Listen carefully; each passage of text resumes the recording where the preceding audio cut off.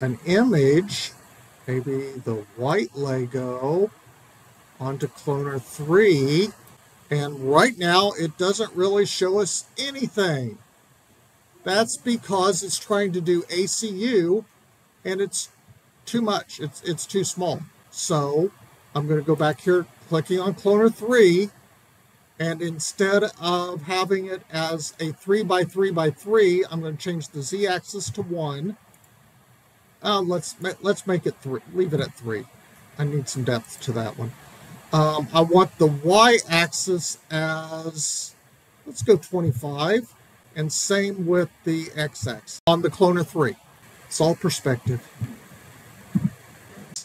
There we go. That's a little better. Now it's hidden below the, the my C there. And I'm going to up the count, maybe 40 by 40. And you can see it is there. It's below the, the, the random.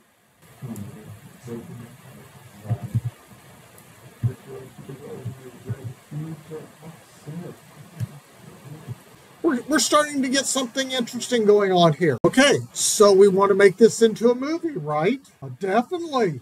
This should be a movie.